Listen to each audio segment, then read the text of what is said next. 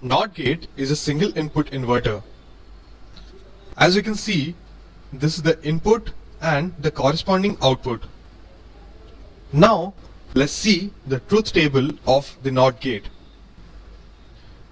A truth table is a mathematical table used in logic to compute the functional values of logical expressions.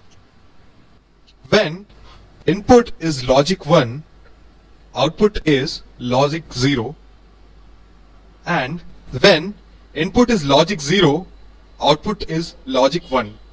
In other terms, when input is high voltage, output is low voltage and when input is low voltage, output is high voltage which is the inversion of the input low voltage.